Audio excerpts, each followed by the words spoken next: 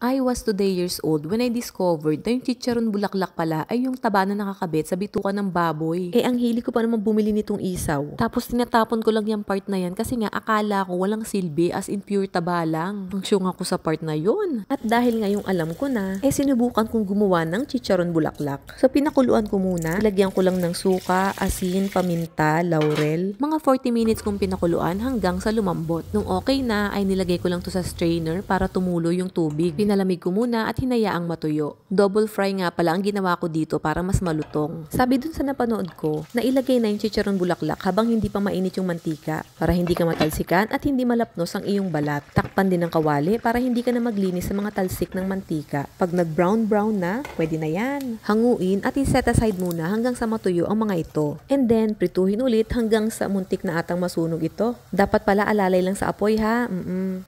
At ito na yung ginawa kong chicharon bulaklak. Gumawa din pala ako ng suka, syempre. Hindi mawawala ang sawsawang suka.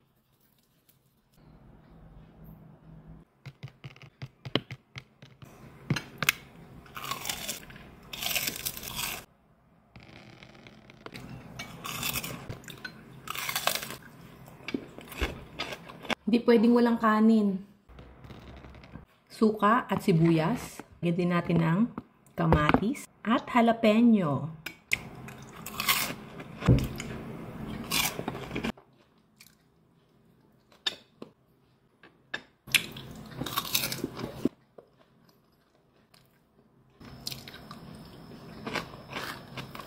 For our next vlog, papakita ko naman sa inyo kung paano kami gumawa ng pickled eggplant. At tignan nyo naman kung gaano kalalaki ang mga talong nila dito sa Italia. O siya, see you soon. Ciao!